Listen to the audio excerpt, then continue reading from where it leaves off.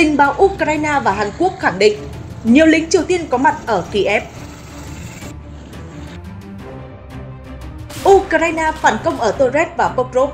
Quân đội hai bên giằng co quyết liệt. Quân đội Ukraine sở hữu công nghệ, có khả năng sản xuất vũ khí hạt nhân.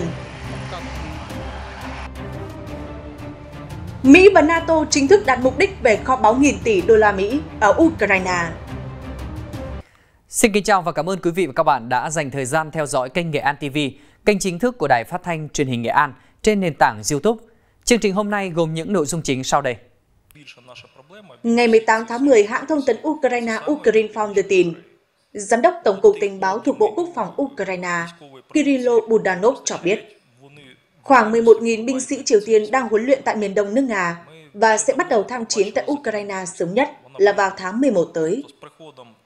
Ông Budanov đồng thời cũng dự đoán 2.600 binh sĩ đầu tiên sẽ được điều đến chiến trường vùng quốc, trong khi vẫn chưa rõ số binh sĩ Triều Tiên còn lại sẽ được điều đến vùng nào. Vị quan chức này cũng cho biết các binh sĩ Triều Tiên sẽ sử dụng thiết bị và đạn dược của Nga. Cùng ngày, Cơ quan Tình báo Quốc gia Hàn Quốc NIS tiết lộ Bình Nhưỡng đã quyết định cử 12.000 binh sĩ từ 4 lữ đoàn, trong đó có lực lượng đặc biệt đến Ukraine. NIS viết trong thông báo rằng đây là đợt triển khai lực lượng mặt đất lớn nhất của Triều Tiên.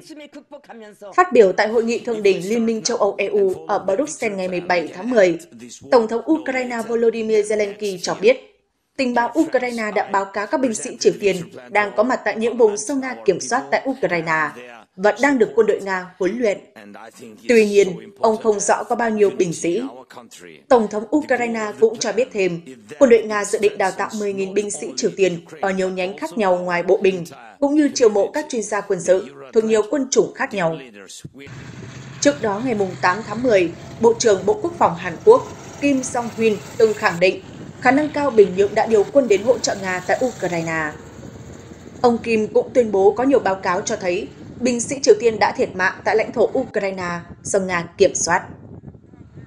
Trái lại, phát ngôn viên Điện Kremlin Dmitry Peskov khẳng định những thông tin về việc Triều Tiên gửi binh sĩ đến tham chiến ở Ukraine chỉ là tin giả. Phía Triều Tiên cũng chưa đưa ra bình luận nào về những thông tin về việc điều binh đến Ukraine. Ngày 18 tháng 10, Viện Nghiên cứu Chiến tranh ISW có trụ sở tại Mỹ xác nhận, quân đội Ukraine gần đây đã chiếm lại lãnh thổ ở thành phố Turet trong bối cảnh các cuộc tấn công của Nga đang diễn ra ác liệt.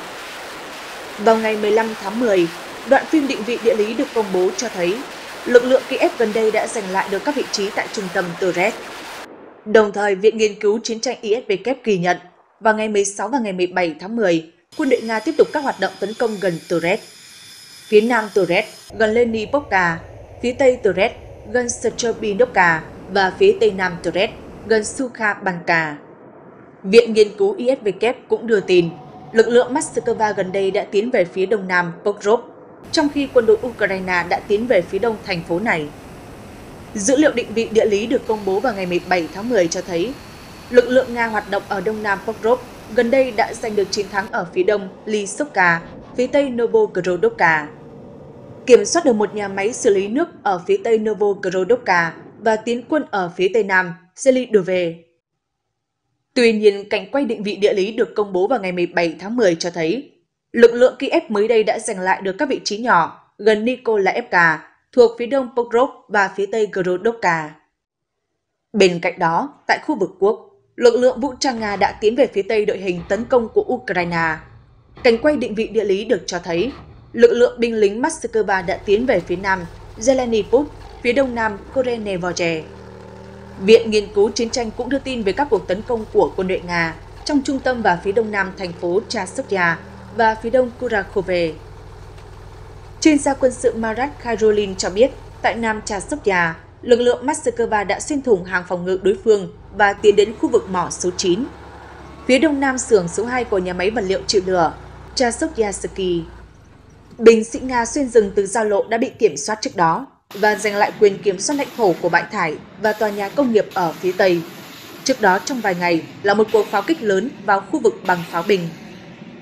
Tại khu vực Selidove thuộc hướng Donetsk, lực lượng Moscow tiếp tục bao vây hai bên sườn Ở phía bắc thành phố, quân đội Nga củng cố các vị trí trên khu vực phía nam đường cao tốc M30, E50 và tiến dọc vành đai rừng về phía tây.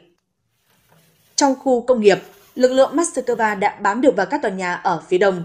Những trận chiến khốc liệt đang diễn ra, vùng chiến đấu cũng đang mở rộng trên lãnh thổ của các ngôi nhà nghỉ cuối tuần nằm về phía đông Selidove.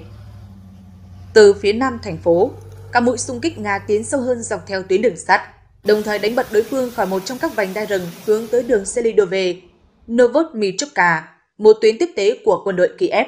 Một phần vành đai rừng nằm dưới sự kiểm soát của Nga. Theo hướng Kurakove, lực lượng Moscow đã kiểm soát làng Maximilianovka.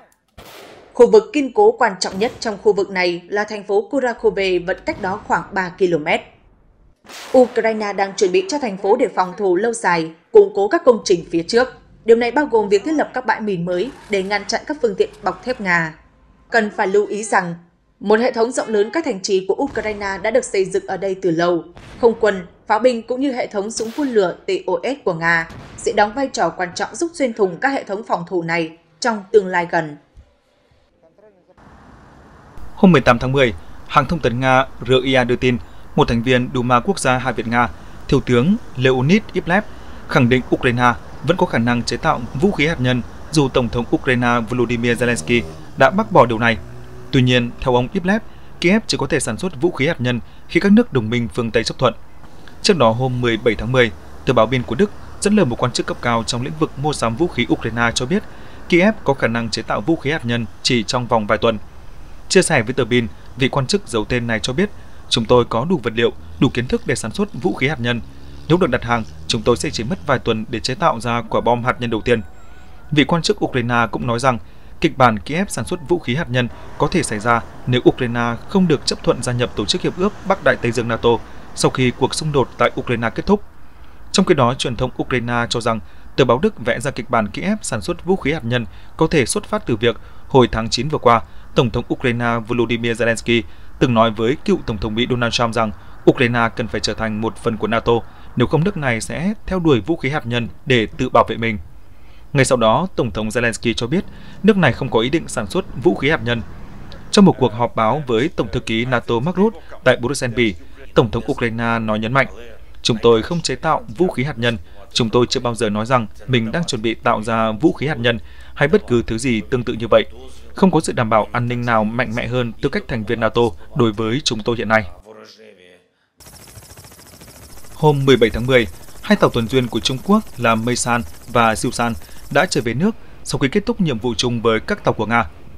Theo hải cảnh Trung Quốc, hôm 13 tháng 9, hai con tàu khởi hành từ thành phố Chu Sơn thuộc tỉnh Chiết Giang và đã thực hiện hành trình dài hơn 17.000 hải lý trong 35 ngày, đi qua biển Bering, biển Trúc Trì và Bắc Băng Dương. Meisan và siêu San là tàu tuần duyên Thai 818 nặng 3.800 tấn, có thiết kế dựa trên khinh hạm Thai 054 của Hải quân Trung Quốc và được trang bị pháo hạm 76mm. Theo một bức ảnh được Hải cảnh Trung Quốc công bố, hạm đội chung của lực lượng tuần duyên Nga Trung Quốc đã đi qua một khu vực không được tiết lộ cụ thể, nhưng có nhiều mảng băng đang trôi nổi. Trước đó vào ngày 28 tháng 9, lực lượng tuần duyên Mỹ đã phát hiện các tàu Trung Quốc ở biển Bering gần Alaska khi chúng đi qua về phía Bắc đến Bắc Băng Dương. Hải cảnh Trung Quốc nhấn mạnh đây là chuyến đi thường kỳ và không nhắm vào bất kỳ quốc gia, khu vực hoặc mục tiêu nào cụ thể. Nhiệm vụ này tuân thủ luật pháp và thông lệ quốc tế, cũng như không liên quan đến tình hình hiện tại ở quốc tế hay khu vực. Trong nhiệm vụ đi biển kéo dài 35 ngày, hai tàu Trung Quốc đã tiến hành tập trận chung với lực lượng bảo vệ bờ biển Nga. Cuộc tập trận mang tên Tuần tra Thái Bình Dương 2024 được bắt đầu vào ngày 16 tháng 9 và diễn ra ở vịnh Peter Đại Đế, nhân chuyến thăm của hai tàu Meisan và Siusan tới thành phố Vladivostok thuộc vùng Viễn Đông của Nga. Sau khi kết thúc cuộc tập trận, hai bên đã lần đầu tiên tham gia tuần tra chung trên vùng biển quốc tế ở Bắc Thái Bình Dương. Hải cảnh Trung Quốc cho biết cuộc tuần tra nhằm mục đích duy trì trật tự trong sản xuất thủy sản ở khu vực. Ngày 17 tháng 10, Tổng thống Mỹ Joe Biden đã tới thủ đô Berlin của Đức trong chuyến thăm kéo dài một ngày để thảo luận với các nhà lãnh đạo Đức, Pháp, Anh về tình hình Ukraine trong bối cảnh Kiev đang thúc giục các đồng minh phương Tây có những hành động dứt khoát để sớm chấm dứt xung đột. Thủ tướng Đức Scholz từng khẳng định Đức và Mỹ là những nước ủng hộ lớn nhất cho Ukraine, đồng thời nhấn mạnh cần phải tìm kiếm biện pháp nhằm đảm bảo cuộc xung đột sớm chấm dứt. Chuyến thăm lần này nhấn mạnh mối quan hệ chặt chẽ giữa lãnh đạo hai nước Mỹ và Đức trước khi ông Biden rời nhiệm sở vào tháng 1 năm tới. Sự kiện diễn ra sau khi Tổng thống Ukraine Volodymyr Zelensky có chuyến công du các nước phương Tây để trình bày kế hoạch chấm dứt xung đột của mình. Cuộc bầu cử Tổng thống Mỹ vào tháng tới cũng làm tăng thêm tính cấp bách về vấn đề Ukraine giữa bối cảnh quan ngại xung quanh cách thức xử lý của cả hai ứng cử viên Tổng thống, bà Kamala Harris và ông Donald Trump đối với cuộc xung đột sau khi đắc cử. Những lo ngại về nguy cơ leo thang căng thẳng ở Trung Đông trở thành xung đột toàn diện giữa Israel và Iran cũng đang là tâm điểm chú ý của dư luận quốc tế và dự kiến cũng sẽ là nội dung chính được thảo luận trong chuyến thăm. Theo kế hoạch ban đầu, Tổng thống Biden sẽ triệu tập một cuộc họp quy mô lớn hơn với sự tham gia của đại diện các nước ủng hộ Ukraine tại căn cứ không quân Ramstein của Mỹ ở Đức vào tuần trước trong chuyến thăm cấp nhà nước tới Đức kéo dài 3 ngày. Tuy nhiên, ông Biden đã hủy chuyến thăm này để tập trung vào việc đối phó với cơn bão Milton, thay vào đó là một chuyến thăm ngắn trong tuần này. Theo Cố vấn An ninh Quốc gia Mỹ Jack Sullivan, cuộc họp tại căn cứ Ramstein sẽ được tổ chức trực tuyến vào tháng 11 tới.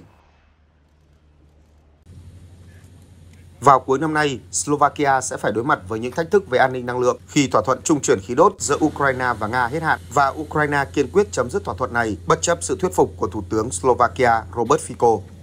Tại cuộc họp báo chung giữa Thủ tướng Ukraine Smihan và Thủ tướng Slovakia Robert Fico vừa qua, ông Smihan khẳng định Kiev sẽ không gia hạn thỏa thuận trung chuyển khí đốt giữa Ukraine và Nga sau khi thỏa thuận này hết hạn.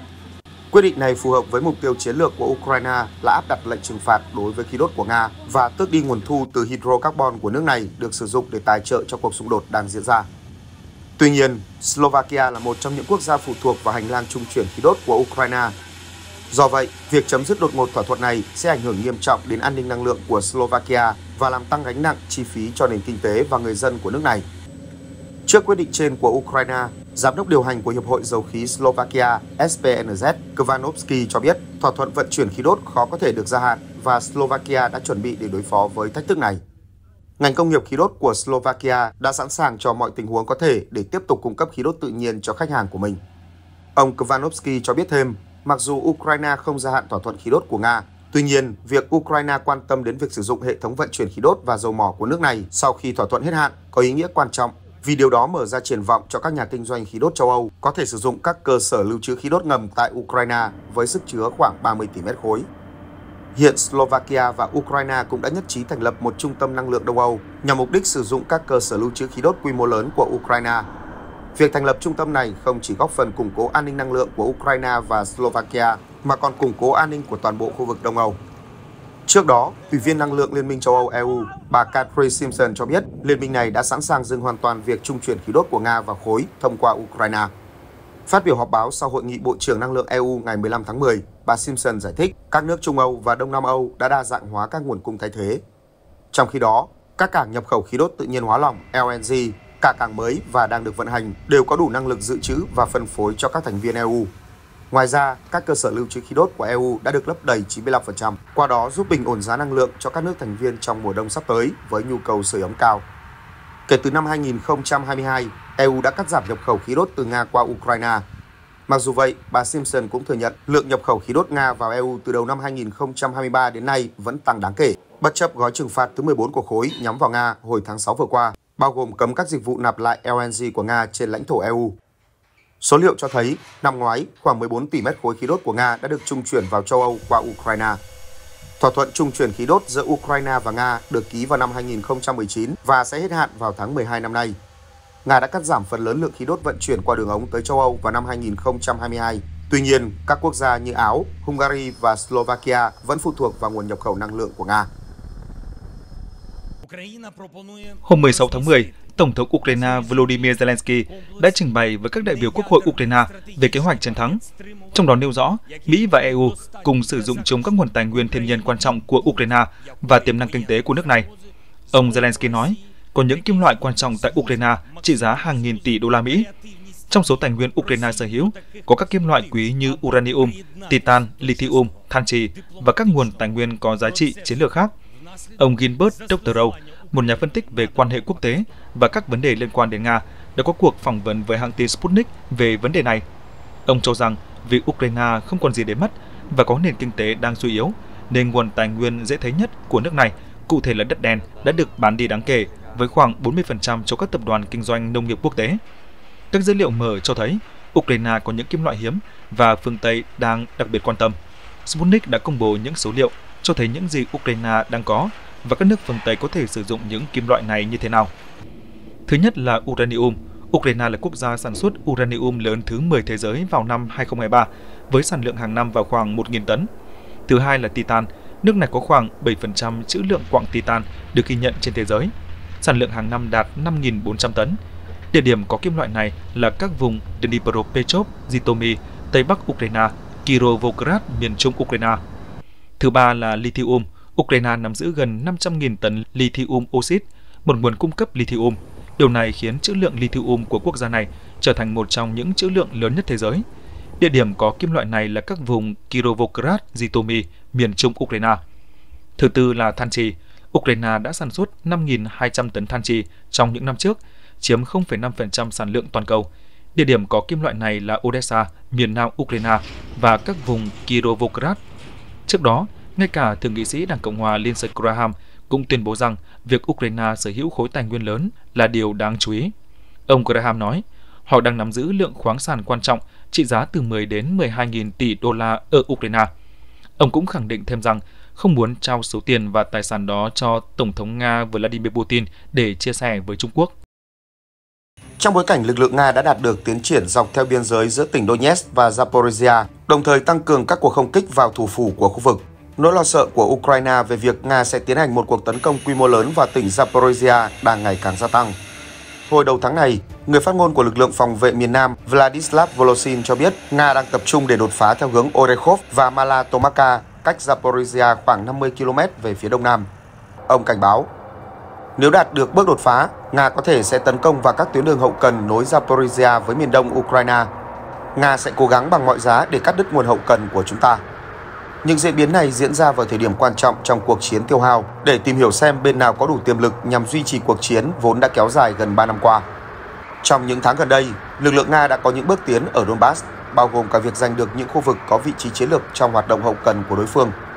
Có lợi thế đáng kể về quân đội và vũ khí, Nga không có dấu hiệu từ bỏ mục tiêu giành thêm quyền kiểm soát lãnh thổ Tỉnh Zaporizhia ở đông nam Ukraine là một trong bốn tỉnh mà Nga tuyên bố đã sắp nhập vào tháng 9 năm 2022, mặc dù lực lượng Kiev vẫn kiểm soát khoảng 1 phần 3 tỉnh, bao gồm cả thủ phủ của vùng. Câu hỏi đặt ra là Nga tăng cường tấn công vào Zaporizhia là đòn đánh nhằm đánh lạc hướng Ukraine hay Moscow sẽ thực sự mở mặt trận lớn ở khu vực này. Các chuyên gia phương Tây và Ukraine tin rằng còn quá sớm để nói liệu những hành động gần đây này có báo hiệu sự khởi đầu của một cuộc tấn công lớn ở Zaporizhia hay không nhưng có vẻ kịch bản này khó xảy ra trong tương lai gần khi Moscow vẫn đang tập trung ở Donbass. Phó giám đốc chương trình Nga tại Quỹ bảo vệ Dân chủ John Hardy nói với Kiev Independent rằng Tôi nghi ngờ Nga có đủ nguồn lực để duy trì một cuộc tấn công như vậy trong khi vẫn tiếp tục các hoạt động ở Donetsk, nơi dường như là ưu tiên hàng đầu. Mặc dù vậy, Nga vẫn giành được những thành công chiến thuật trong những ngày gần đây ở khu vực Donetsk giáp Zaporizhia. Hôm 14 tháng 10, Bộ Quốc phòng Nga tuyên bố lực lượng của họ đã giành được làng Levadny ở tỉnh Zaporizhia cách thành phố Zaporizhia khoảng 170 km. Nga đang trên đà tiến tới làng Novodarovka ở khu vực lân cận và khu vực tây nam Velika Novosinka. Trong vài ngày qua, Nga đã tiến hành các cuộc tấn công trên bộ gần Robotin, Mala Tomaka và Novodanilovka ở trung tâm tỉnh Zaporizhia. Khu vực này là trọng tâm của cuộc phản công bất thành của Ukraine năm 2023. Kể từ tháng 9 vừa qua, giới chức Ukraine đã cảnh báo việc Nga đưa vũ khí và nhân lực tới khu vực Zaporizhia. Nga cũng tăng cường không kích ở khu vực bằng bom lượn thông minh từ cuối tháng 9, một vũ khí quen thuộc mà Moscow thường sử dụng cho chiến thuật tiêu thổ để mở đường cho bộ binh tiến lên. Theo thống đốc tỉnh Zaporizhia Ivan Fedorov, bom dẫn đường do Nga phóng có thể bay đến thành phố trong vòng vài phút. Những quả bom này gần như không thể bị bắn hạ và Nga đang sản xuất chúng với số lượng lớn. Chuyên gia quân sự Konrad Muzika cho rằng quân đội Nga khó có khả năng tiến hành các hoạt động tấn công quy mô lớn ở tỉnh Zaporizhia vì họ đang phải tập trung nguồn lực cho các mặt trận quan trọng hơn ở Donetsk và cả Kursk, nơi mà Ukraine đã tấn công trong hơn 2 tháng qua. Theo ông, Nga dường như đang dùng kế nghi binh, cố gắng tạo ra cảm giác rằng họ sắp đánh lớn ở Zaporizhia để buộc Ukraine phải kéo các lực lượng vốn đã bị dàn rất mỏng trong những tháng qua. Tổ chức ISPK Mỹ cũng nhận định Nga chưa dồn nguồn lực đủ lớn tới Zaporizhia để tấn công mạnh mẽ ở mặt trận này, mà vẫn ưu tiên nhiều nhất ở Donetsk. ISPK cho rằng Nga có thể tìm cách đánh lạc hướng đối thủ để buộc Ukraine phải phân tán nguồn lực. Mặt khác, Ukraine cũng đang trong tình trạng kéo căng lực lượng. Họ đã dồn nguồn lực lên Kursk trong những ngày qua và đang phải nỗ lực bảo toàn thành quả của cuộc tấn công vào lãnh thổ Nga. Ukraine liên tiếp mất thêm đất ở Donetsk trong những tuần qua là dấu hiệu cho thấy phòng tuyến của họ có khe hở nhất định Nga có thể tận dụng tình trạng này để phát huy ưu thế vượt trội hơn về nguồn lực nhằm tạo đột phá ở Zaporizhia. Năm 1991, chiến tranh lạnh kết thúc đã mang tới hy vọng về xóa bỏ vũ khí hạt nhân. Tuy nhiên ở thời điểm hiện tại, triển vọng đó đang dần lu mờ giữa luật căng thẳng trên toàn cầu. Hôm 11 tháng 10, Ủy ban Nobel Na Uy thông báo đã trao giải Nobel Hòa Bình cho tổ chức của nạn nhân bom nguyên tử và bom khinh khí Nihon Hidankyo vì những nỗ lực hướng tới một thế giới không có vũ khí hạt nhân. Ủy ban cho rằng, nỗ lực phi thường của Nihon Hidankyo đã đóng góp rất lớn vào việc biến vũ khí hạt nhân trở thành điều cấm kỵ với thế giới trong thời gian dài. Sau khi Liên Xô tàn rã, Mỹ và Nga đã hợp tác để cùng vô hiệu hóa hơn 3.000 đầu đạn hạt nhân chiến lược được triển khai ở các nước như Belarus, Kazakhstan và Ukraine. Theo Liên đoàn các nhà khoa học Mỹ năm 1988, Nga có tới 41.000 vũ khí hạt nhân và Mỹ sở hữu 23.500 đầu đạn. Tới năm 2012, Nga và Mỹ chỉ sở hữu chưa đến 5.000 đầu đạn mỗi nước. Nam Phi trở thành quốc gia đầu tiên và duy nhất trên thế giới loại bỏ hoàn toàn vũ khí hạt nhân vào đầu những năm 1990. Một thập kỷ sau, Libya cũng đồng ý chấm dứt chương trình hạt nhân. Sau chiến tranh Iraq năm 2003-2011, Iran cũng đồng ý bắt đầu đàm phán về chương trình hạt nhân của nước này. Iran năm 2015 đạt thỏa thuận hạt nhân kế hoạch hành động chung toàn diện JCPOA với 6 cường quốc. Theo thỏa thuận, Tehran sẽ hạn chế hoạt động hạt nhân để đổi lại được dỡ bỏ một phần các lệnh trừng phạt. Nỗ lực không phổ biến vũ khí hạt nhân từng đối mặt một số rào cản. Pakistan đã thử vũ khí hạt nhân đầu tiên vào năm 1998 và Triều Tiên có động thái tương tự vào năm 2006. Khi căng thẳng toàn cầu gia tăng trong những năm gần đây, sự đồng thuận về vấn đề này ngày càng lung lay. Ủy ban Nobel Na Uy lo ngại trong bối cảnh tình hình thế giới có nhiều bất ổn, điều cấm kỵ về vũ khí hạt nhân đang bị đe dọa và nỗi lo về loại vũ khí hủy diệt hàng loạt này ngày càng được quan tâm. Nhà phân tích của tạp chí Phố Quân Lauren Norman nhận định, lời cam kết về nỗ lực giải trừ vũ khí của các cường quốc hạt nhân trong chiến tranh lạnh hiện tại dường như kém thực tế hơn bất kỳ lúc nào. Tổ chức Chiến dịch Quốc tế Giải trừ Vũ khí hạt nhân ICAN nhận định thế giới hiện có 9 cường quốc hạt nhân gồm Nga, Mỹ, Trung Quốc, Pháp, Anh, Ấn Độ, Pakistan, Israel và Triều Tiên. Israel chưa từng công khai thừa nhận mình sở hữu vũ khí hạt nhân, nhưng Liên đoàn các nhà khoa học Mỹ ước tính nước này sở hữu khoảng 90 đầu đạn. Cuối tháng trước, Tổng thống Nga Vladimir Putin đã công bố loạt đề xuất sửa đổi học thuyết hạt nhân, trong đó cho phép nước này dùng vũ khí nguyên tử nếu bị không kích quy mô lớn. Moscow nhiều lần cảnh báo sẽ sử dụng vũ khí hạt nhân để phòng thủ. Nga gần đây cũng nhất trí triển khai vũ khí hạt nhân ở Belarus, nước giáp với một số thành viên NATO như Ba Lan. Cựu nhà ngoại giao Nga và hiện là thành viên cấp cao tại Trung tâm Giải trừ quân bị và không phổ biến vũ khí hạt nhân viên Nikolai Sokov cho biết quyết định chuyển giao vũ khí hạt nhân chiến thuật của Nga cho Belarus. Cũng tương đương với hành động chia sẻ hạt nhân của Mỹ với các đồng minh châu Âu. Sokov cho biết ông Putin leo thang cảnh báo hạt nhân vì lo ngại phương Tây không coi trọng các làn danh đỏ của Moscow. Ông nhấn mạnh, việc Nga đề xuất thay đổi học thuyết hạt nhân cũng là một tín hiệu như vậy. Tuy nhiên, những người khác coi hành động của Nga là động thái nới lỏng những điều cấm kỵ về sử dụng vũ khí hạt nhân. Tháng trước, cựu Tổng thư ký NATO Jens Stoltenberg đã chỉ trích Nga có những phát biểu liều lĩnh về hạt nhân.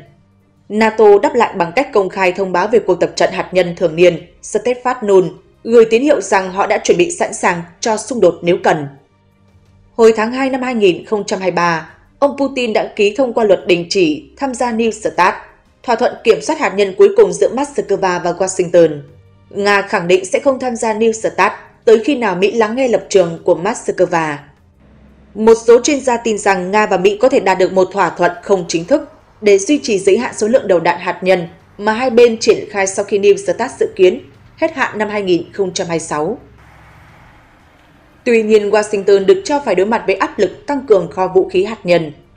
Một ủy ban do Quốc hội bổ nhiệm năm ngoái khuyến nghị Mỹ phải chuẩn bị tăng cường lực lượng hạt nhân để ngăn mối đe dọa từ Nga và Trung Quốc. Theo giới quan sát, khả năng phát triển hạt nhân của Trung Quốc được đánh giá là có tốc độ nhanh nhất.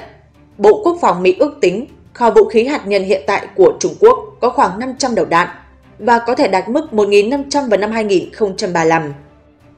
Đầu năm nay, quan chức lầu năm góc dưới thời cựu Tổng thống Donald Trump là Enbridge Colby cho rằng Hàn Quốc nên xem xét mọi phương án khả thi, kể cả trang bị vũ khí hạt nhân, để chống lại mối đe dọa từ Triều Tiên. Giới quan sát nhận định Triều Tiên cũng đang nỗ lực mở rộng kho vũ khí hạt nhân. Căng thẳng leo thang ở nhiều khu vực trên thế giới từ bán đảo Triều Tiên, chiến trường Ukraine cho đến Trung Đông đã khiến một số nước xem xét nghiêm túc về kịch bản sở hữu vũ khí hạt nhân, dù đây từng được coi là điều cấm kỵ. Giới chức Mỹ cho biết, Iran có thể đủ khả năng chế tạo được vũ khí hạt nhân trong vài tháng. Điều này làm dấy lên lo ngại về cuộc chạy đua vũ trang ở Trung Đông, khi Ả Rập Xê Út tuyên bố sẽ có động thái tương tự nếu Iran phát triển vũ khí hạt nhân. Một số thành viên Quốc hội Mỹ đã chỉ trích kế hoạch chia sẻ công nghệ hạt nhân với Ả Rập Xê Út trong nỗ lực của chính quyền ông Biden nhằm thiết lập quan hệ ngoại giao giữa quốc gia Tây Á với Israel. Họ cho rằng bất kỳ thỏa thuận tiềm năng nào đều phải ngăn nguy cơ Ả Rập Xê Út có thể làm giàu uranium trong nước.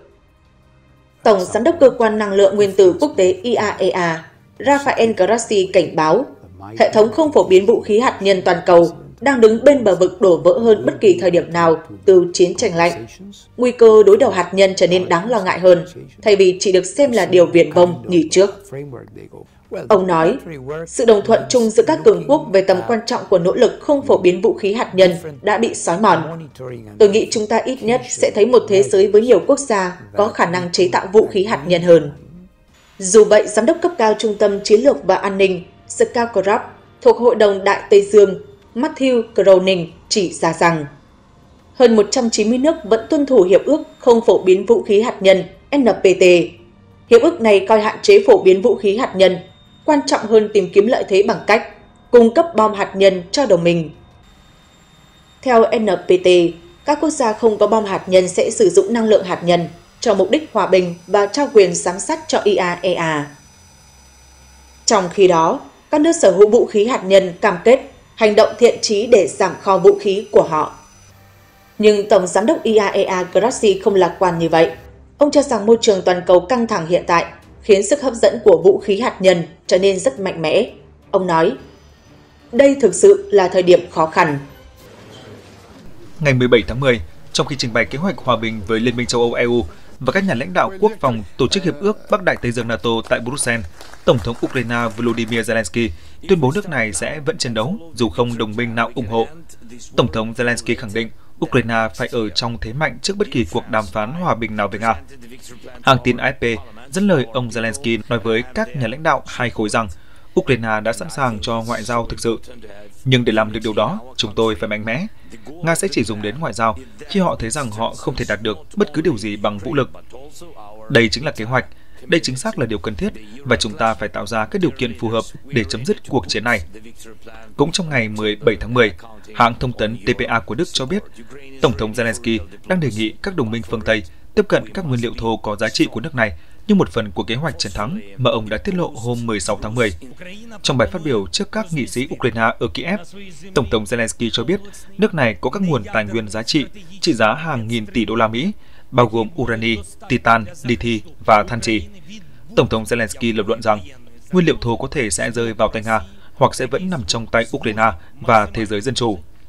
Ông Zelensky cũng cam kết rằng sau khi xung đột với Nga kết thúc, Ukraine sẽ sử dụng kinh nghiệm quân sự của mình để đảm bảo an ninh cho châu Âu và NATO.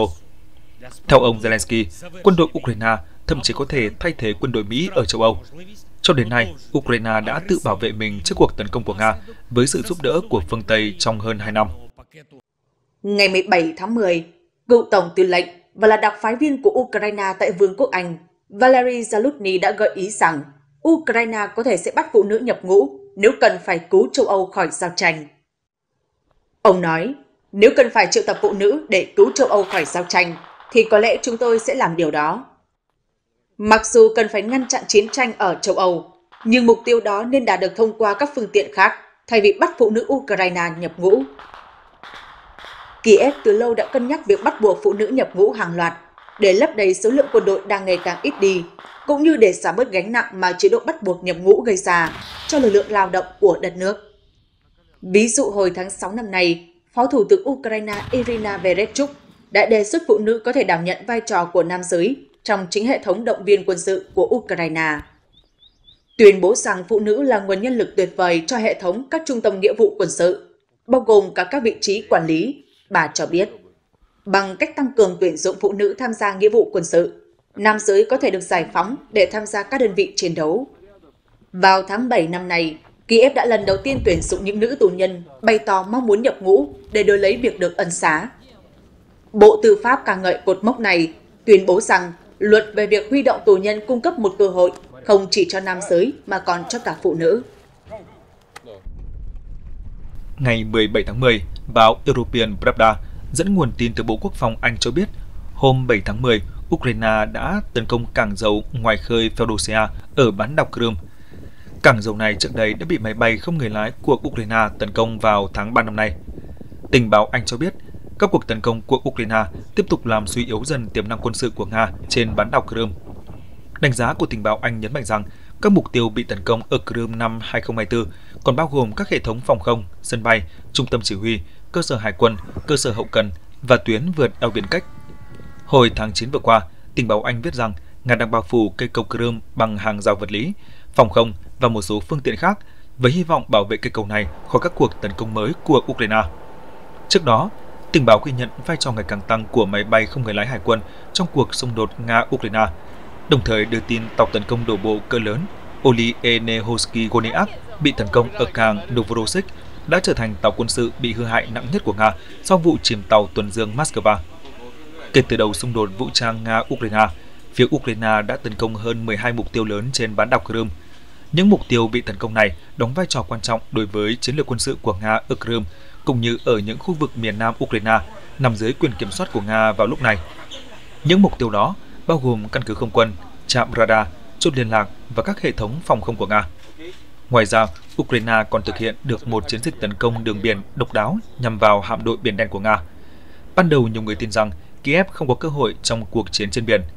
Nhưng cuối cùng, Ukraine đã phối hợp sử dụng thành công xuồng không người lái USV và tên lửa để đánh đắm hoặc vô hiệu hóa sấp xỉ 1 phần 3 số chiến hạm trong hạm đội Biển Đen, từ đó buộc Điện Kremlin phải rút hầu hết các tàu chiến còn lại từ Crimea về vùng đất liền của Nga để đảm bảo an toàn cho những con tàu đó.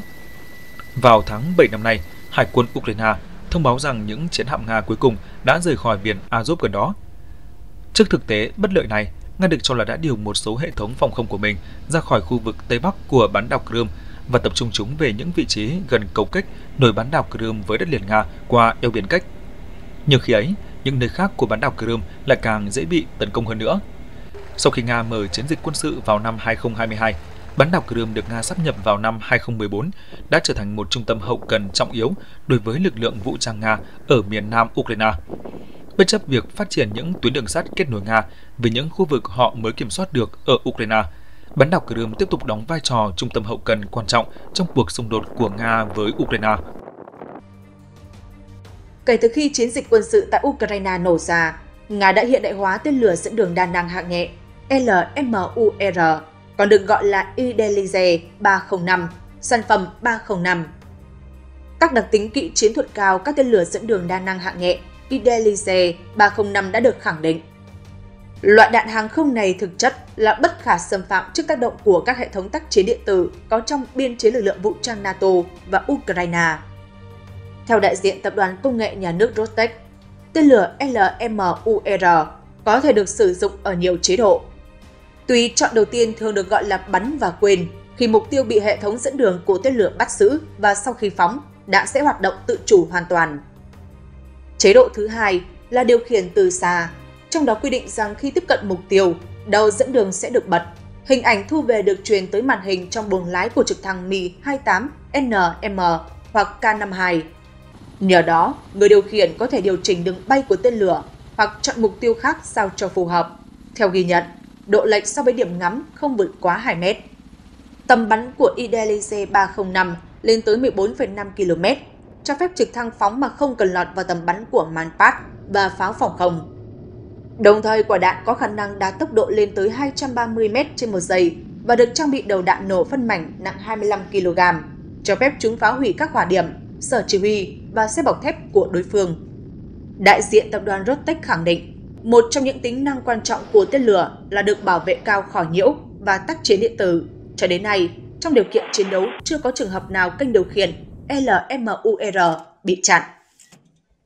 Theo thông báo mới nhất, loại đạn hàng không được treo trên trực thăng tấn công K-52M và Mi-28N NM sẽ tấn công được mục tiêu ở khoảng cách xa hơn nhiều, dự kiến lên tới 20,5 km. Mới đây, không quân Ukraine đã công bố đoạn video cho thấy hoạt động của hệ thống tên lửa phòng không Iris-T trong việc bắn hạ các mục tiêu quân sự của Nga. Theo tuyên bố của không quân Ukraine, NASAM và Iris-T là những hệ thống tên lửa đất đối không tầm trung đầu tiên do phương Tây cung cấp cho Ukraine, được sử dụng để bảo vệ cơ sở hạ tầng quan trọng của Ukraine khỏi các cuộc tấn công quy mô lớn của Nga. Iris-T là hệ thống tên lửa do Đức sản xuất, có khả năng xóa sổ mọi mục tiêu khí động học trong phạm vi bán kính lên tới 40 km. Không quân Ukraine lưu ý, đây là hệ thống tên lửa đất đối không tiên tiến nhất trong kho vũ khí của họ và đã được đưa vào sử dụng từ tháng 10 năm 2022. Kể từ khi bắt đầu cuộc xung đột với Nga, hệ thống phòng không của Ukraine đã được tăng cường bằng các loại vũ khí hiện đại, bao gồm Patriot, Samte, Iris-T, NASAM và nhiều loại vũ khí khác. Đầu tháng 9 vừa qua, Thủ tướng Đức Olaf Scholz tuyên bố Đức đã đặt mua 22 hệ thống phòng không Iris-T từ DA Defense, năm trong số đó dành cho quân đội Đức và 17 hệ thống dành cho Ukraine, trong đó bao gồm 8 hệ thống tầm trung SLM và 9 hệ thống tầm ngắn SLS. Iris-T được thiết kế để đánh chặn tên lửa hành trình và tên lửa đạn đạo, cũng như máy bay phản lực, trực thăng và máy bay không người lái. Bệ phóng có thể dựa trên khung gầm bánh lốp man 8x8 hoặc bánh xích xe địa hình BVS-10 và mang theo 4 hoặc 8 thùng chứa tên lửa để phóng thẳng đứng. Iris-T có hai chế độ bắn là khóa trước khi phóng và khóa sau khi phóng, cho phép đánh chặn hiệu quả mục tiêu tại mọi góc độ trong nhiều điều kiện giao tranh. Phiên bản SLM cho phép bắn trúng mục tiêu trên không ở khoảng cách lên tới 40 km, còn với phiên bản SLS ngắn hơn khoảng 25 km.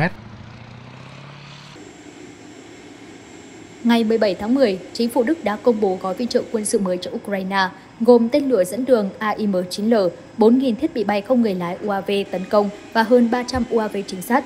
Gói viện trợ này nhằm tăng cường khả năng phòng thủ của Ukraine trong bối cảnh xung đột đang diễn ra với Nga. Tên lửa dẫn đường AIM-9L là vũ khí có hiệu quả cao, được sử dụng trong không chiến. Tuy nhiên, số tên lửa này sẽ được sử dụng để phóng từ mặt đất.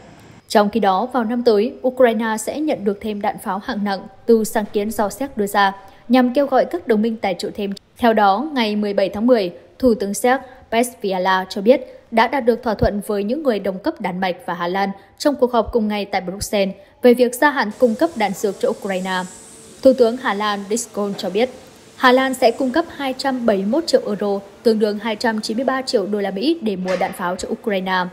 Tuy nhiên, gần đây có nhiều thông tin cho rằng Đức và phương Tây nói chung đang tìm cách giảm bớt chi phí tài chính cũng như hỗ trợ quân sự cho lực lượng Ukraine để chống lại Nga.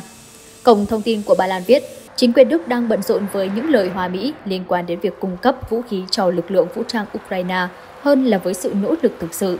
Ấn phẩm này lưu ý rằng quyền lực của Liên minh cầm quyền hiện tại ở Đức sẽ hết hạn vào năm 2025, nhưng chính quyền đang cố gắng gia hạn hỗ trợ cho Kiev trong thời gian dài hơn. Đồng thời, nhiều điều cấm kỵ vẫn được giữ nguyên. Đặc biệt, Berlin không thay đổi lệnh cấm cung cấp tên lửa hành trình Taurus cho Kiev, dù phía Ukraine không ngừng gửi yêu cầu về hệ thống này. Ngoài ra, báo chí ngày càng đưa tin thường xuyên rằng giới lãnh đạo Đức đang tìm cách giảm bớt chi phí tài chính để duy trì cho Kiev, đặc biệt là bằng cách chuyển nó sang các đồng minh của mình. Mong muốn hỗ trợ thêm cho Kiev không chỉ bị dập tắt từ người Đức mà còn từ cả nhiều nước phương Tây. Nhiều ý kiến cho hay, phương Tây sẽ không cho phép Ukraine sử dụng các hệ thống được chuyển giao để tấn công các mục tiêu nằm sâu trong lãnh thổ Nga, bởi Washington và Berlin lo ngại leo thang hạt nhân. Ngoài ra, có thông tin cho rằng Mỹ không cho phép London chuyển tên lửa Tomahawk sang Ukraine vì có thể tấn công các mục tiêu trên lãnh thổ Nga. Được biết, năm 2026, Đức đặt mục tiêu giảm viện trợ cho Ukraine dựa vào các nguồn khác ngoài ngân sách liên bang, thu nhập từ tài sản bị đóng băng của Nga có thể là một nguồn như vậy. Nếu đúng như vậy thì đây thực sự là cú sốc đối với Ukraine và tất cả những ai muốn ủng hộ Kiev vô điều kiện. Chính phủ Đức dường như muốn chấm dứt viện trợ tài chính cho quân sự Ukraine từ ngân sách liên bang sau năm tới và thay vào đó là khai thác từ nguồn viện trợ quốc tế.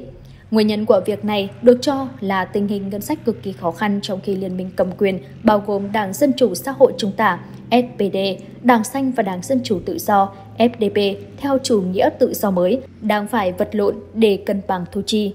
Bộ trưởng Bộ Tài chính Christian Lindner, FDP, đã viết trong một lá thư gửi cho Bộ trưởng Bộ Quốc phòng Boris Pistorius, SPD và Bộ trưởng Bộ Ngoại giao Annalena Baerbock đang xanh rằng các biện pháp mới liên quan đến nghĩa vụ thanh toán chỉ có thể được thống nhất nếu đã đảm bảo được nguồn tài chính. Trước việc các nước phương Tây cung cấp vũ khí cho Ukraine, phía Nga nhiều lần tuyên bố những động thái như vậy không làm thay đổi tình hình trên chiến trường mà chỉ làm kéo dài cuộc xung đột. Tờ Business Insider gần đây cho biết, kể từ khi Nga phát động chiến dịch quân sự, lực lượng vũ trang Ukraine đã mất khoảng 40 xe tăng Leopard của Đức. Nguồn tin trên cho biết, xe tăng Leopard rất mạnh mẽ, hiệu quả cao, có lớp giáp dày, nhưng không phải là bất khả chiến bại. Trên thực tế, theo một số nguồn tin mở, Ukraine đã mất khoảng 40 xe tăng.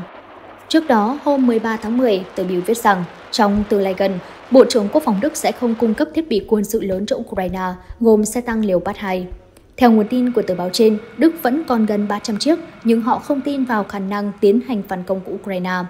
Ngày 1 tháng 10, quân Nhật Nga đã chuyển giao một xe tăng Leopard của Đức bị phá hủy trong khu vực hoạt động đặc biệt cho nhà máy Ura Volgaro của Nga. Sau khi nghiên cứu, các chuyên gia phát hiện ra những xe tăng này còn có thể chứa công nghệ nhạy cảm.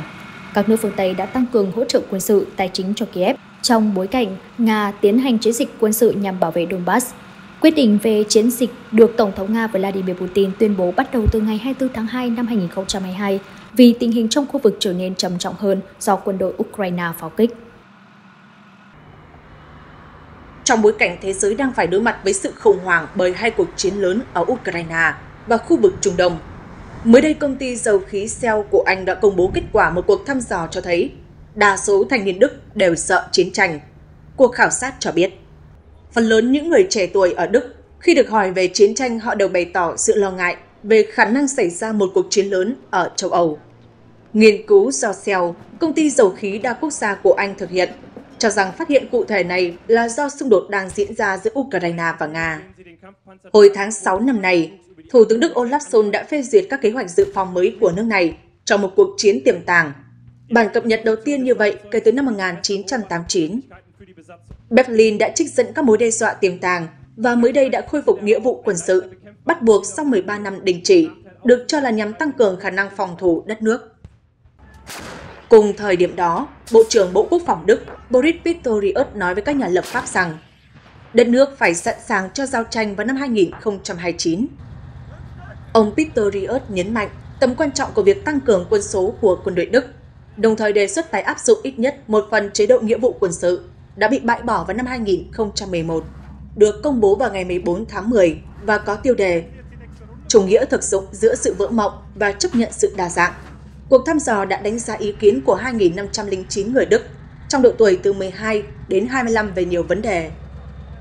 Cuộc thăm dò cho thấy nỗi sợ chiến tranh ở châu Âu là mối quan tâm hàng đầu chiếm khoảng 80% trong số những người trẻ tuổi. Mối quan tâm về kinh tế và khả năng gia tăng tình trạng nghèo đói là mối quan tâm hàng đầu thứ hai được 67% số người được hỏi bày tỏ. Các nhà nghiên cứu cũng lưu ý rằng 55% số người trẻ được hỏi cho biết họ quan tâm đến chính trị, tăng đáng kể so với mức 34% được ghi nhận vào năm 2002. Hồi tháng 1 năm nay, Bộ trưởng Bộ Quốc phòng Đức nói với đài truyền hình công cộng ZDF rằng nước Đức nên chuẩn bị tiến hành một cuộc chiến bắt buộc trong tương lai và trang bị vũ khí ngay từ bây giờ. Tháng 7 vừa qua, Washington và Berlin đã nhất trí rằng tên lửa hành trình của Mỹ sẽ được triển khai tại Đức tới năm 2026. Theo Bộ trưởng Bộ Quốc phòng Đức, việc triển khai theo kế hoạch sẽ cho chúng ta thời gian cần thiết để phát triển các loại vũ khí tương tự trong nước. Một động thái như vậy trước đây đã bị cấm theo Hiệp ước Lực lượng Hạt nhân Tầm trung INF thời chiến tranh lạnh mà Washington đã rút khỏi vào năm 2019. Bình luận về diễn biến tại thời điểm đó, Tổng thống Nga Vladimir Putin cảnh báo rằng nếu Mỹ thực hiện các kế hoạch như vậy, Nga sẽ coi như mình không còn bị ràng buộc bởi lệnh tạm dừng triển khai vũ khí tấn công tập trung và tầm ngắn đã được thông qua trước đó. Ông đồng thời cảnh báo Nga sẽ thực hiện các biện pháp tương tự để triển khai các hệ thống này. Hôm 17 tháng 10, hãng thông tấn Trung ương Triều Tiên KCNA đưa tin, trong chuyến thị sát tới trụ sở quân đoàn 2 của quân đội Triều Tiên, nhà lãnh đạo Kim Jong-un đã gọi Hàn Quốc là quốc gia đối đầu, đồng thời cảnh báo sẽ sử dụng vũ lực nếu chủ quyền của Triều Tiên bị xâm phạm. Chủ tịch Triều Tiên khẳng định, lãnh đạo quân đội của chúng ta cần ghi nhớ một lần nữa sự thật phũ phàng rằng Hàn Quốc là nước ngoài và là quốc gia đối đầu rõ ràng. Chuyến thị sát của ông Kim Jong Un diễn ra sau khi Triều Tiên cho nổ tung các tuyến đường bộ và đường sắt kết nối với Hàn Quốc. Đây là những tuyến đường từng được coi là biểu tượng chính của sự hòa giải liên triều. Quân đội Hàn Quốc đã công bố đoạn video ghi lại cảnh binh lính Triều Tiên cho nổ mìn phá hủy các tuyến đường bộ và đường sắt ở biên giới. Hãng thông tấn KCNA đưa tin, nhà lãnh đạo Triều Tiên tuyên bố việc cắt đứt tuyến đường bộ và đường sắt với Hàn Quốc không chỉ đồng nghĩa với việc đóng cửa về mặt vật lý, mà còn là chấm dứt mối quan hệ xấu xa với Seoul vốn kéo dài hàng thế kỷ, cũng như chấm dứt ý tưởng thống nhất vô lý. Cùng theo hãng này, ông Kim Jong-un đã cảnh báo về việc Triều Tiên sẽ sử dụng vũ lực đáp trả nếu chủ quyền bị xâm phạm. Ông Kim nhấn mạnh, nếu chủ quyền của Triều Tiên bị Hàn Quốc, một quốc gia đối đầu xâm phạm, vũ lực sẽ được sử dụng một cách không do dự và không tuân theo bất kỳ điều kiện nào nữa. Cũng trong ngày 17 tháng 10, KCNA trích lời một quan chức Bộ Quốc phòng Triều Tiên cho biết, các biện pháp tiếp theo sẽ được thực hiện để biến phần biên giới bị chặn ở phía nam thành một pháo đài vĩnh cửu. Về phần mình, Hội đồng tham mưu trưởng Liên quân Hàn Quốc JCS đã xác nhận việc Triều Tiên đã cho nổ một số đoạn đường Gyeonggui và Đồng Hà ở phía bắc đường phân định quân sự giữa hai nước. Giới chức Bình Nhưỡng cho biết, việc cắt đứt các tuyến đường bộ và đường sắt là biện pháp tất yếu và hợp pháp được thực hiện theo yêu cầu của Hiến pháp Triều Tiên. KCNA nêu rõ, đây cũng là phản ứng trước tình hình an ninh nghiêm trọng đang trên bờ vực của một cuộc giao tranh khó lường do các hành động khiêu khích quân sự, chính trị nghiêm trọng của các thế lực đối đầu. Đây cũng đánh dấu lần đầu tiên Hiến pháp Triều Tiên chính thức xác định Hàn Quốc là quốc gia đối đầu. Việc Bình Nhưỡng sửa đổi hiến pháp nhằm tuân theo chỉ thị của ông Kim Jong-un, trong đó Triều Tiên sẽ coi Hàn Quốc là đối thủ thay vì là đối tác hòa giải và thống nhất. Mới đây, tờ Daily NK cho biết, chính quyền Bình Nhưỡng đang gấp rút tăng gấp đôi sản lượng vũ khí nhằm trang bị cho quân đội của mình. Cụ thể, trong quý 4 năm nay, Triều Tiên đã ra lệnh mở rộng kế hoạch sản xuất và xuất khẩu vũ khí để đáp ứng nhu cầu quân sự của Nga trong cuộc chiến chống Ukraine, cũng như phục vụ hiện đại hóa quân đội. Một nguồn tin ở Triều Tiên cho biết, Quân ủy Trung ương CMC đã ban hành lệnh khẩn cấp về sản xuất và xuất khẩu vũ khí đối với Bộ Quốc phòng, Ủy ban Kinh tế số 2 và các doanh nghiệp công nghiệp quốc phòng lớn thông qua mệnh lệnh số 61351 ký ngày 1 tháng 10. Theo đó, sau lệnh ban hành khẩn cấp vào ngày 2 tháng 10 vừa qua, Bộ Quốc phòng Triều Tiên ngay lập tức bắt đầu thực hiện mệnh lệnh của CMC nhằm tăng cường hợp tác với Nga, bằng cách đảm bảo kịp thời tổng khối lượng xuất khẩu đạn dược. Đặc biệt, Cục Công nghiệp Quốc phòng đã tổ chức nhóm công tác đặc biệt tạm thời gồm các thành viên Ủy ban Kinh tế số 2, cũng như cán bộ các phòng chuyên môn thuộc Tổng cục Trang thiết bị Quốc phòng để đảm bảo hiệu quả trong việc sản xuất, vận chuyển đạn dược. Bộ Công nghiệp Quốc phòng tiếp đó đã tiến hành xác định nhanh chóng nhu cầu của Nga liên quan tới thiết bị và vũ khí quân sự. Ủy ban Kinh tế thứ số 2 sẽ tham gia tạo điều kiện cho việc mở rộng sản xuất vũ khí trong quý 4 thông qua các chuyến đi thực địa. Tờ Daily NK dẫn nguồn tin cho biết, Bộ Công nghiệp Quốc phòng đã thông báo cho các cơ quan liên quan rằng lệnh của quân ủy Trung ương không chỉ đơn giản là tăng sản xuất vũ khí.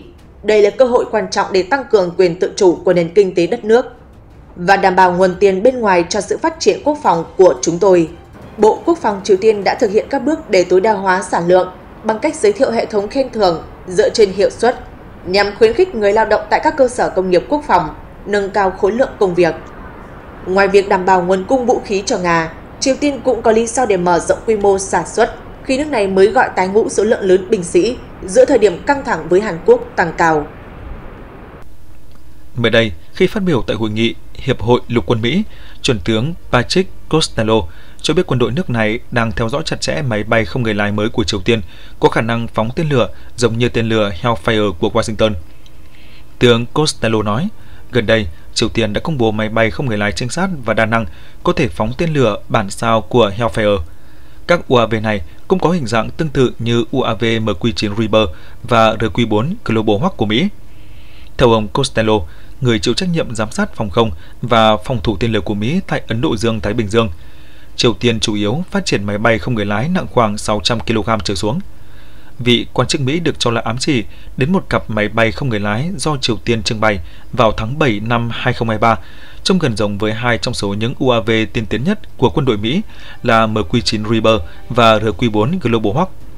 Vào thời điểm đó, truyền thông Triều Tiên nói rằng các UAV này mới được phát triển, đồng thời công bố đoạn video UAV phóng một tên lửa. Phương Tây sau đó so sánh tên lửa này với tên lửa dẫn đường Hellfire mà UAV của Mỹ sử dụng. Khả năng chính xác của UAV Triều Tiên cũng như tên lửa mà chúng phóng đi vẫn chưa được làm rõ. Ngoài ra, nếu tên lửa của Triều Tiên thực sự có khả năng dẫn đường thì cũng không rõ chúng sử dụng hệ thống nào.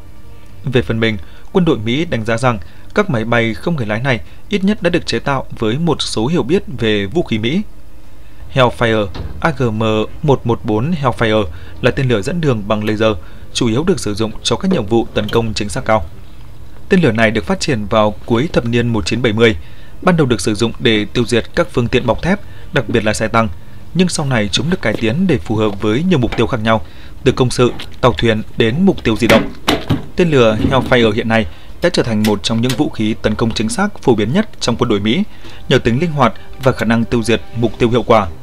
MQ-9 Reaper là UAV vũ trang do tập đoàn General Atomic chế tạo cho lực lượng không quân của Mỹ. UAV này có thể bay ở độ cao hơn 15.000m và hoạt động liên tục trong 24 tiếng. Cơ quan nghiên cứu Quốc hội Mỹ cho biết mỗi chiếc MQ-9 Reaper có giá xuất xưởng khoảng 30 triệu đô la Mỹ.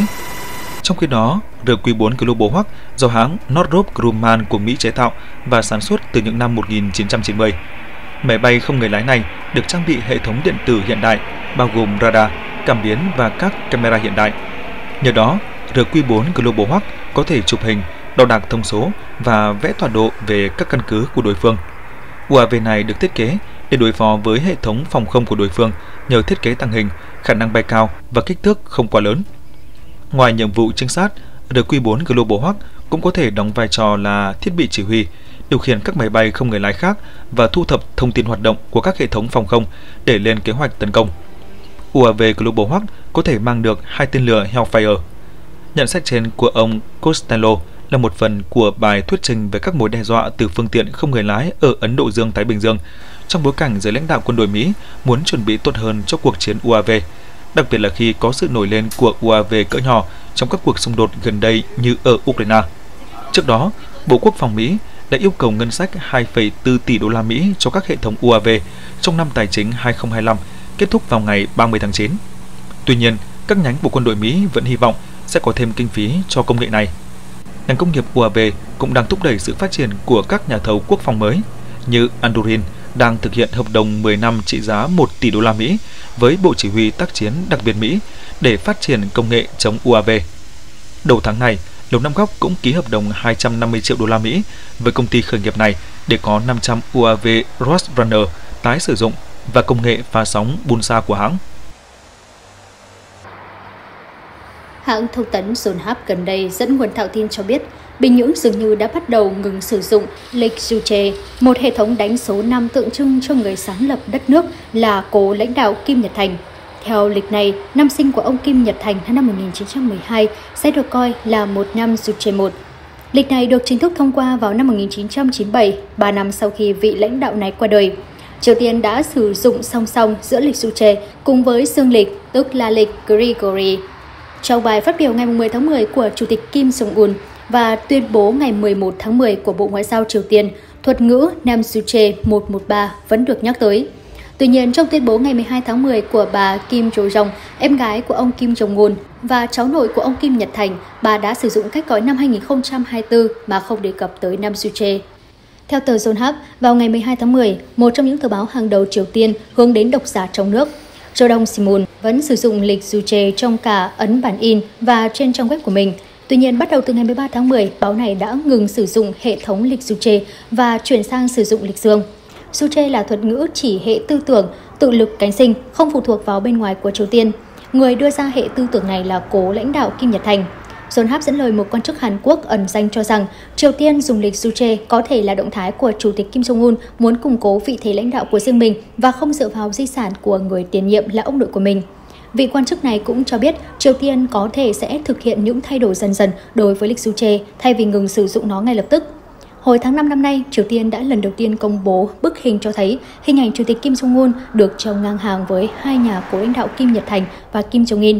Khi đó, Reuters nhận định đây có thể được xem là động thái nhằm củng cố vị thế của ông Kim Jong-un so với các bậc tiền bối của ông. Mặc dù còn tới 2 tuần nữa mới tới ngày bầu cử Tổng thống Mỹ, nhưng đã có gần 9 triệu cử tri đi bỏ phiếu sớm tại nhiều bang, bao gồm các bang chiến trường quan trọng. Dữ liệu bầu cử cho thấy số cử tri lựa chọn bỏ phiếu sớm đã gia tăng nhanh chóng và lần đầu tiên vượt qua số người đi bầu cử trong ngày tổng tuyển cử năm 2020.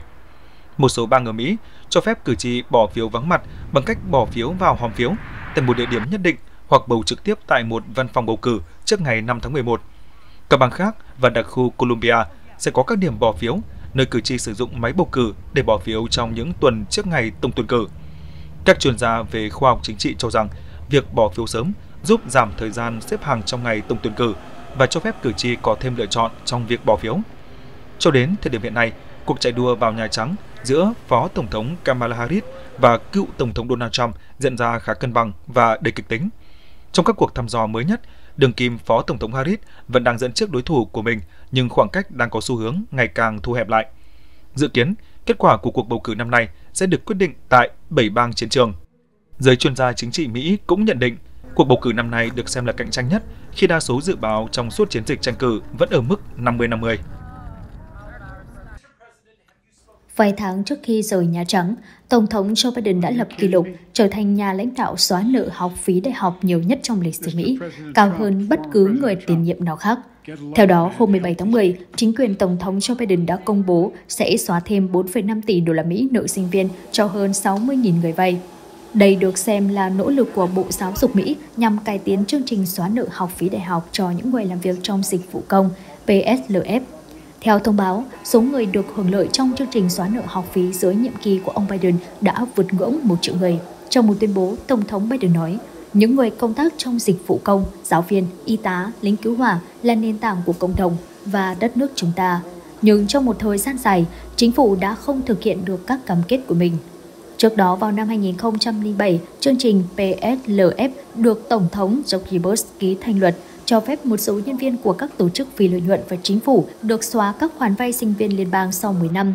Năm 2013, Cục Bảo vệ Tài chính người tiêu dùng ước tính rằng 1 phần 4 số người lao động Mỹ có thể đủ điều kiện để được xóa nợ trong chương trình này. Tuy nhiên, chương trình đã đối mặt với một số vấn đề liên quan tới các điều kiện, khiến cho trong một thời gian dài không có nhiều người được hưởng quyền lợi. Theo Bộ Giáo dục Mỹ, trước khi ông Biden nhậm chức, mới có 7.000 người được giảm nợ theo chương trình PSLF, trong một số năm tỷ lệ từ chối của chương trình lên tới 98%. Dưới thời Tổng thống đương nhiệm Joe Biden, Bộ Giáo dục Mỹ đã nới lỏng các yêu cầu của chương trình và cải tổ cách quản lý chương trình. Thông tin này được công bố trong bối cảnh cuộc bầu cử Mỹ đang trong giai đoạn nước rút. Trước đó, ông Biden cho rằng có quá nhiều người Mỹ đang cảm thấy căng thẳng về các khoản vay học phí rất cao từ thời sinh viên.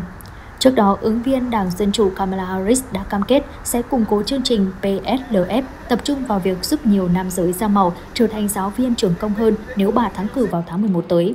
Ngược lại, ông Donald Trump đã kêu gọi xóa bỏ chương trình này. Trong nhóm cử tri ủng hộ Đảng Cộng Hòa đã có những người phản đối chủ trương xóa nợ học phí của chính quyền ông Biden. Họ cho rằng không phải người Mỹ nào cũng chọn con đường đại học. Vì vậy, sẽ là bất công khi buộc những người Mỹ làm đụng chăm chỉ để đóng thuế phải trả nợ cho những người đi học đại học. Chỉ còn chưa đầy 3 tuần nữa là đến ngày cử tri ở Mỹ đồng loạt đi bỏ phiếu. Tuy nhiên hiện tại, Phó Tổng thống Kamala Harris vẫn đang chật vật trong nỗ lực kêu gọi sự ủng hộ từ nam giới. Trong khi đó, cựu Tổng thống Donald Trump cũng gặp vấn đề tương tự với những nữ cử tri. Khoảng cách giới tính đã tạo ra tình thế bế tắc cho cuộc đua Tổng thống năm nay. Một nhóm phụ nữ nhiệt tình ủng hộ Harris vì bà bảo vệ quyền phá thai, còn ông Trump thu hút nam giới bằng những thông điệp cứng rắn, mạnh mẽ. Sự chia rẽ này tác động đến chiến lược truyền thông của hai ứng viên – và cách họ định hình các vấn đề quan trọng nhất đối với cử tri trong những tuần cuối chiến dịch tranh cử. Trước đó, ở cuộc bầu cử năm 2020, ông Trump từng dẫn trước ông Biden 5 điểm phần trăm trong nhóm cử tri nam giới. Theo cuộc thăm dò toàn quốc gần đây nhất do báo tạp chí phố Quân thực hiện hồi cuối tháng 8 năm nay chỉ ra, lợi thế đó đã tăng lên thành 10 điểm trước bà Harris. Theo chiều ngược lại, cũng trong cuộc bầu cử năm 2020, ông Biden từng dẫn trước ông Trump 12 điểm trong nhóm cử tri nữ, còn hiện tại, bà Harris đã nới rộng lợi thế đó lên 13 điểm. Cả hai ứng viên đều đang nỗ lực thu hút cử tri khác giới. Vào tuần này, ông Trump đã dự một cuộc meeting hỏi đáp với khán giả nữ trên Fox News. Còn bà Harris đã đưa ra một chương trình nghị sự tạo cơ hội cho nam giới da màu, trong đó có việc cung cấp các khoản vay kinh doanh, đào tạo nghề cùng những sáng kiến về y tế. Vào ngày 15 tháng 10, bà cũng có một cuộc meeting hỏi đáp với cử tri do người dẫn chương trình phát thanh được nam giới da đen trẻ tuổi yêu thích Cholamane Thagot chủ trì.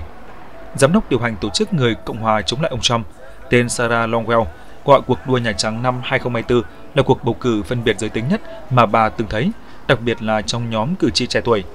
Một xu thế đáng chú ý của năm nay là càng nhiều đàn ông da màu và Latin chuyển sang ủng hộ ông Trump. Người dẫn đầu cuộc thăm dò ý kiến cho siêu Ủy ban Hành động Chính trị MAGA Inc. ủng hộ cựu Tổng thống Trump, David Lee lý giải. Tôi nghĩ đàn ông tập trung nhiều vào kinh tế, tất cả đều liên quan đến nền kinh tế và lạm phát. Dù phụ nữ cũng quan tâm đến nền kinh tế, tuy nhiên quyền phá thai là một vấn đề quan trọng khác ảnh hưởng tới tính toán bỏ phiếu của họ. Trong một cuộc thăm dò gần đây của tạp chí Phú Quân tại 7 bang chiến trường, cho thấy 27% phụ nữ và 8% nam giới xác định phá thai là vấn đề hàng đầu thúc đẩy họ chọn ứng viên nào. Phát hiện trên phản ánh mối quan tâm đặc biệt lớn của cử tri nữ về vấn đề quyền phá thai kể từ sau khi Tòa án tối cao lật ngược phán quyết Roe chống lại Wade hồi năm 2022. Phán quyết năm 1973 này tuyên bố phá thai là một trong những quyền con người căn bản của phụ nữ và là quyền hiến định dựa trên tu trình án thứ 14. Sau khi phán quyết bị lật ngược, các bang tự ra quy định về phá thai. Một phần ba phụ nữ cho biết họ không thể ủng hộ một ứng viên không đồng ý với họ về vấn đề phá thai, trong khi chỉ 18% nam giới có cùng quan điểm. Bà Harris đã củng cố nền tảng ủng hộ của nữ giới bằng cách chọn những điệu nhạc hay điệu nhảy mà họ ưa chuộng tại những sự kiện vận động tranh cử. Bà tập trung vào hàng loạt vấn đề liên quan đến phụ nữ, nhấn mạnh về nền kinh tế chăm sóc, hướng sâu vào dịch vụ, chất lượng sống con người. Bà Harris từng chỉ trích ông Trump vì ông đã bổ nhiệm ba thẩm phán bảo thủ đã tham gia lật ngược phán quyết Roe chống lại Wade. Trước đó, trong bài phát biểu về quyền phá thai tại Atlanta, bà Harris nói, rõ ràng là họ không tin tưởng phụ nữ, còn chúng ta tin tưởng phụ nữ. Những ưu tiên như vậy hấp dẫn các nữ cử tri.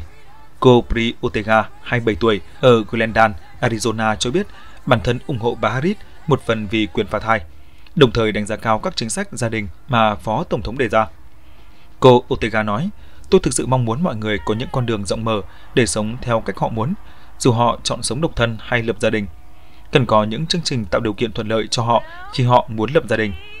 Bà Harris gần đây cho thấy bà cũng cố gắng kết nối cử tri nam giới khi nói về việc sở hữu một khẩu súng lục Glock tại nhà riêng hay uống bia trên truyền hình đêm khuya với người dẫn chương trình Stephen Colbert. Người thăm dò ý kiến cho ứng viên Harris, Molly Murphy nhấn mạnh, Đảng Cộng Hòa thường cố gắng chế giễu Phó Tổng thống. Điều quan trọng là bà ấy phải trực tiếp tham dự nhiều sự kiện, nói về những trải nghiệm của bản thân. Việc thể hiện rằng bà ấy cứng rắn là điều thực sự quan trọng đối với tất cả cử tri. Nhưng nỗ lực của bà Harris không lay chuyển được cử tri Lloyd, 48 tuổi, ở Chandler, Arizona, một đảng viên Đảng Cộng Hòa. Ông Lloyd nói, toàn bộ vụ Harris uống bia với Colbert trông thật đáng xấu hổ. Ông Trump, người từ lâu đã coi trọng những lời nói cứng rắn, luôn thể hiện phong cách nam tính, thường xuyên nói về việc chiến đấu với đối phương. Trong đại hội toàn quốc Đảng Cộng Hòa hồi tháng 7 năm nay, ông đã bước ra trên nền nhạc bài It's a Man's, Man's, Man's World của cố nhạc sĩ Jim Brown và được cựu đô vật nổi tiếng Hulk Hogan khen ngợi trên sân khấu. Ông Lloyd cho biết ông đánh giá cao những lời lẽ cứng rắn của cựu tổng thống. Cử tri này nói, nó không khiến tôi muốn chạy ra ngoài và mua một khẩu súng để chiến đấu vì mạng sống của mình. Nhưng tôi hiểu thông điệp đó, bởi tôi xuất thân từ một dòng họ lâu đời luôn bảo vệ những gì chúng tôi tin tưởng. Và nếu không làm vậy, bạn sẽ bị đám đông đè bẹp.